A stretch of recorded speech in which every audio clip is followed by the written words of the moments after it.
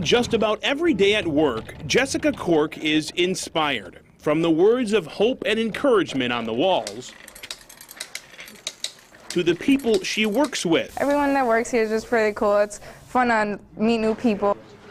To the customers she helps. Jessica is living the dream at 16 years old.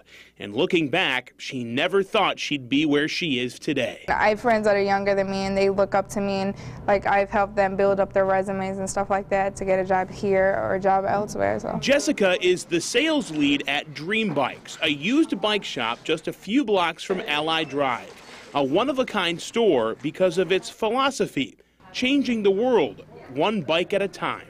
I think what it does, it, it challenges them to do more than just ring a register or sell something. Dream Bikes president Roger Bird says it's about reaching out to troubled kids and getting them on the right path.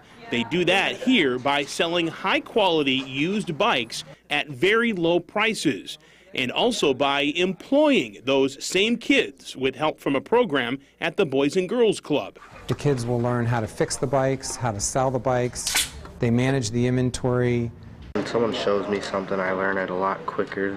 So it's really more than just helping customers and ringing the register.